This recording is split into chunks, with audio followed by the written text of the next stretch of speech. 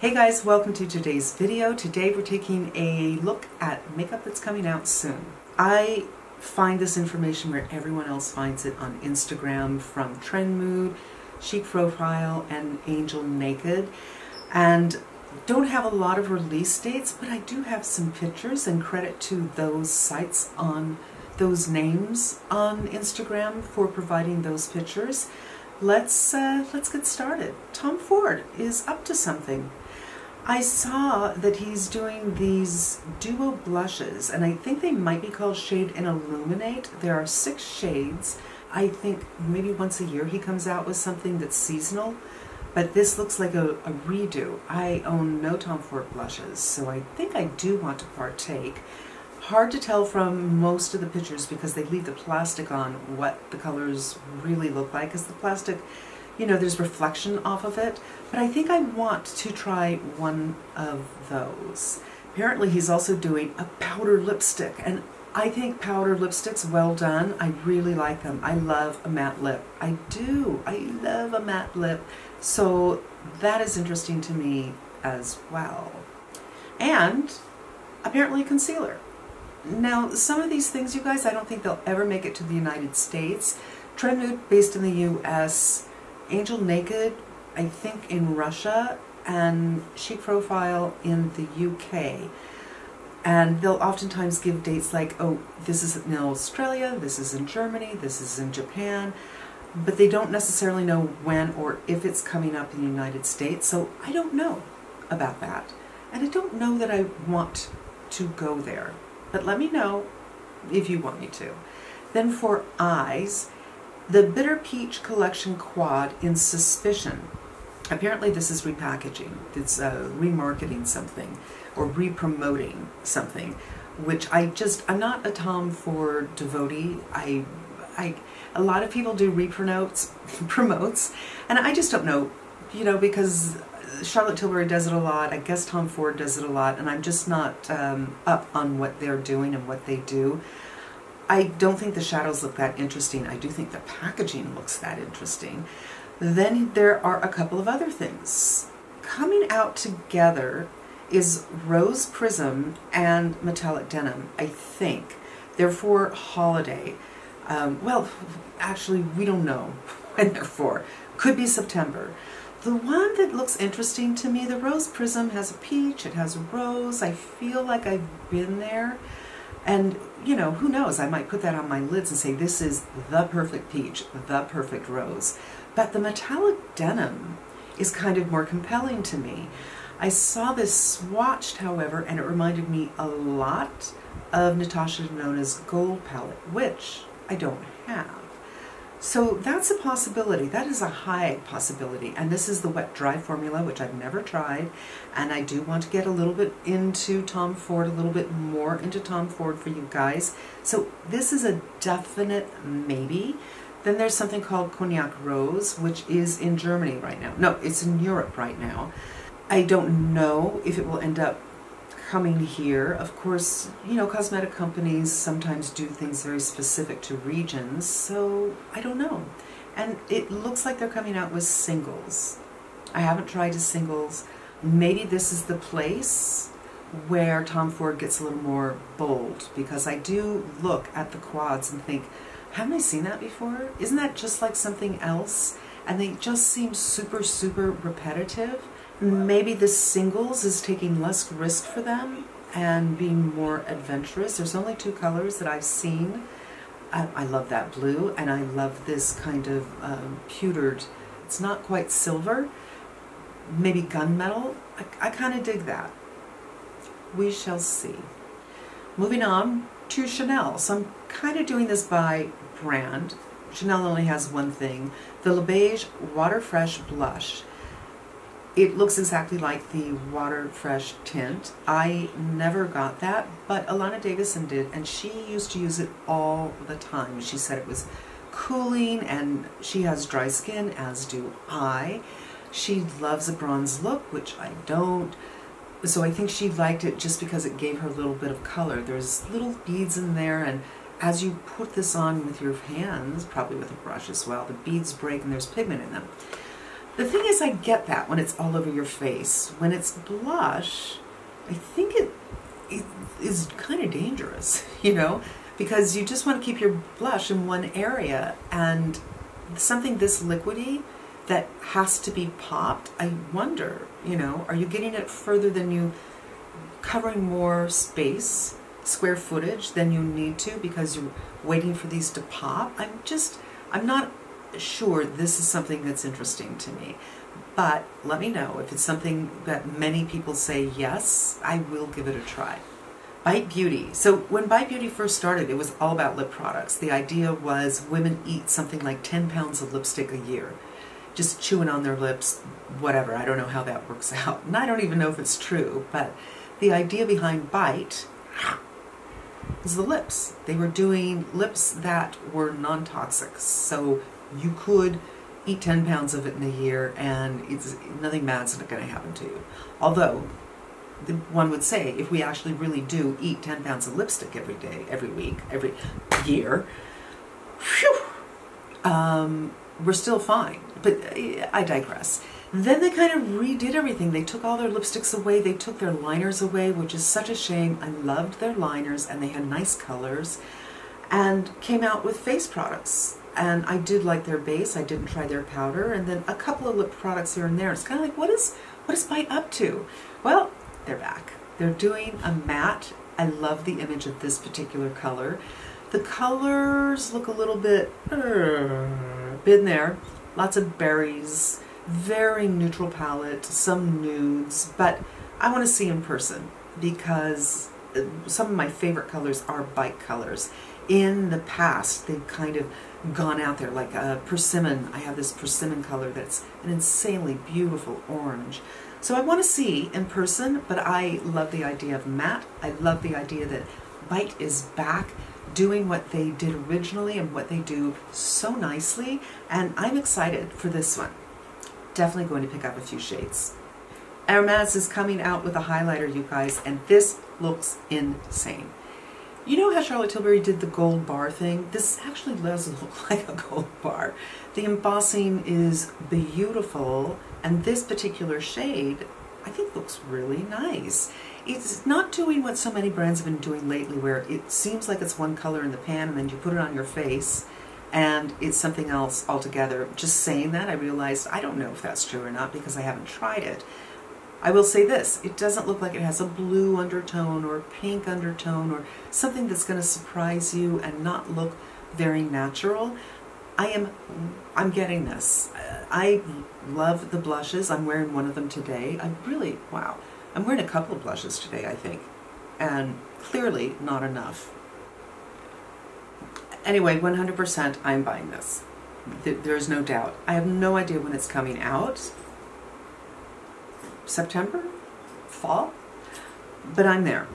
Charlotte Tilbury is coming out with a couple of things. She has the Eyes to Mesmerize that apparently just came out. I think it's available in Walk of No Shame and Pillow Talk.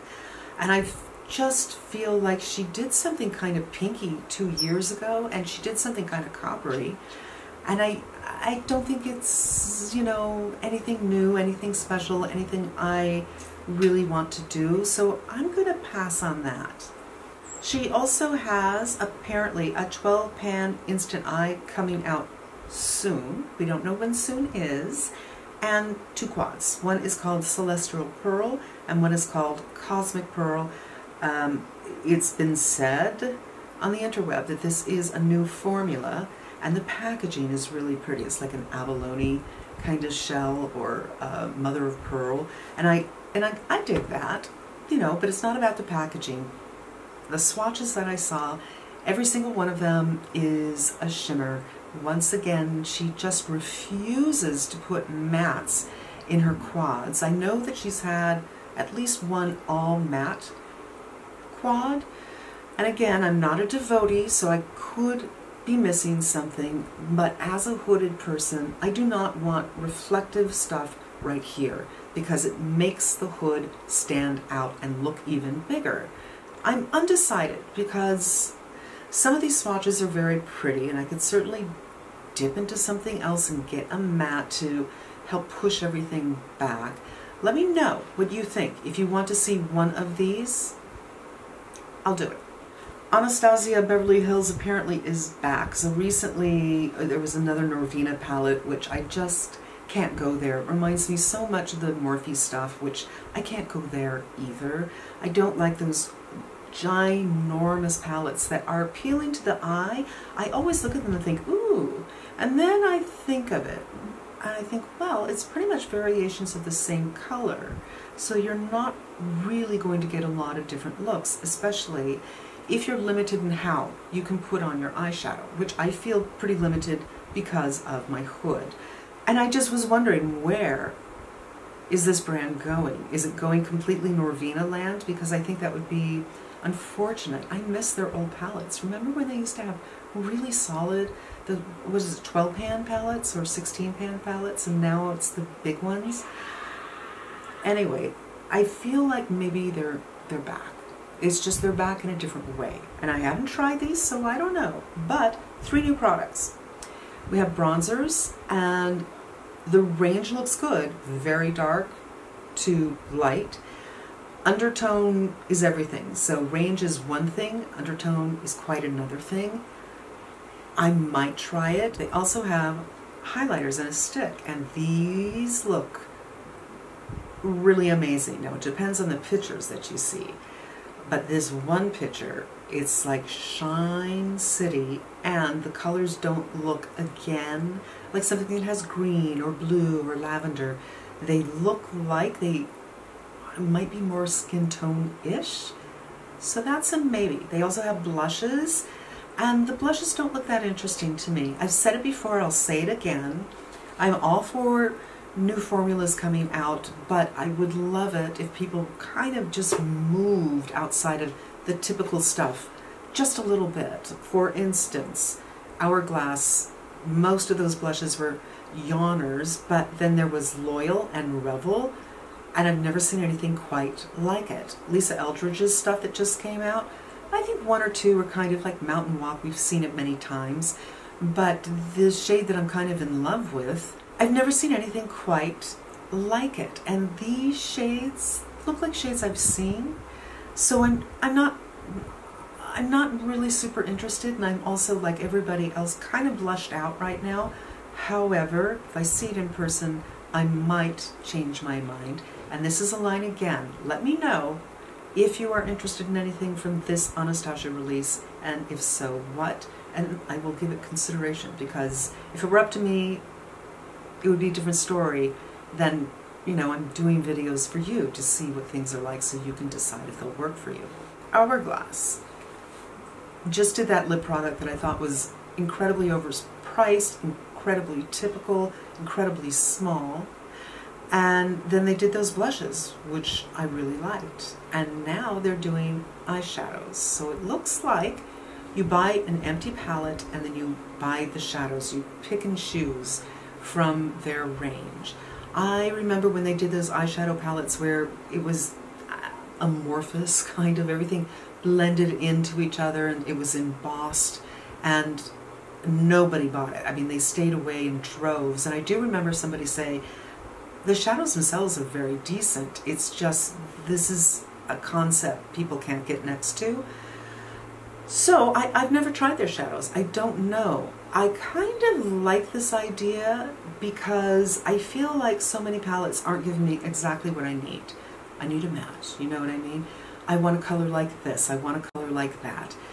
And I like that idea. I don't like the idea that the size is kind of odd and I wonder, do I need to buy the palette? Can I just buy a Z palette for 10 bucks somewhere on Amazon probably and stick some shades in there? Or are they just something that's so untypical that you have to buy the palette? And, you know, I wouldn't put it past a company doing that. They are here to make money. So that is interesting to me. And then finally, Dior.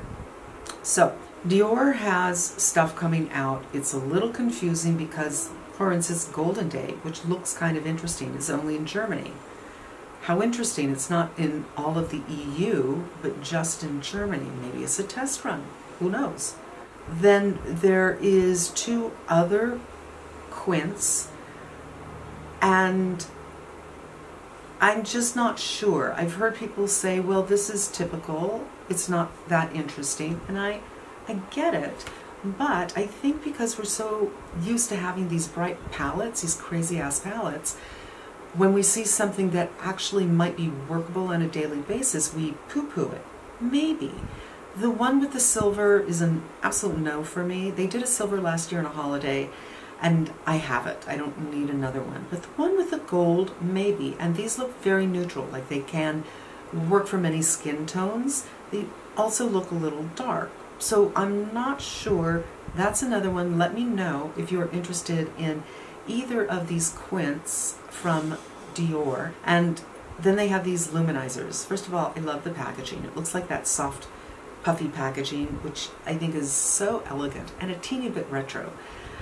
There's six shades, and apparently these are highlighters, but there's a lot of color to these highlighters, and they look like blushes. And I think if you're somebody who likes a shiny blush, if you don't like a matte blush, you're not some reflection on your cheeks, some of these I think you could probably use for blush. I'm kind of interested. I'm kind of interested. So again, this is one where I want you to let me know what your thoughts are. Maybe I will get one, probably not more than one, but we shall see. And then finally, I didn't write it down here on my list, Natasha Denona has a mini palette coming out. So this is unusual for her. After she's hit us over the head with, you know, the Cirque du Soleil palette, which I'm sorry, that's a no for me. And then the Zendo palette, which just, I didn't get it. This palette, I would think, I would, I would welcome it with no. But when I started to think about it a little bit more, and again, we really need to see some pictures, I think there might be something to this, you guys. I, I know that sounds weird. It may not work. It may not be flattering.